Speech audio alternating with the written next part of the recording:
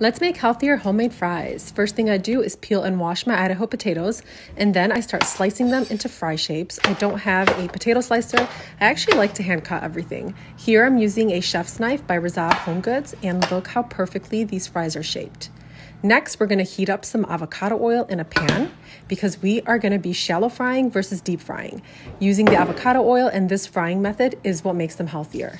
Once the oil is hot, we put in our first batch of fries, separate them, and then for the hard part, we don't touch them for about 10 minutes or until they start getting a little golden around the edges and become easier to move like this. Once they do, we can start flipping them. And once they're flipped, they only take a few minutes before they start crisping up.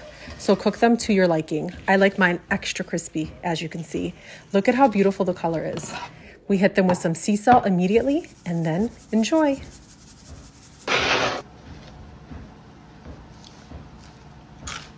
So good, so crispy, so addicting.